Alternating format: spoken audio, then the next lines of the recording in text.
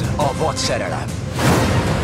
A reality, melyben az adrenalin erejével csap le rád a szerelem, csak keményebben, minden eddiginél nagyobb intenzitással. Tíz szuperdögös szingli maximumra tekeri a szerelmi életét. Álljunk meg, tudom, hogy mire gondoltok. Ő tényleg Mario López, a tévés legenda? Az egész világon mindenki és a nagymamája is hallott az ellenállhatatlan kísértésről, Lanáról és a szabályairól. Tartózkodnotok kell a szexuális tevékenységektől. Hogy behálózzunk egy újabb adag fogalmatlan szépséget. Létrehoztuk a legnagy szabásúbb kamu valóságsónkat.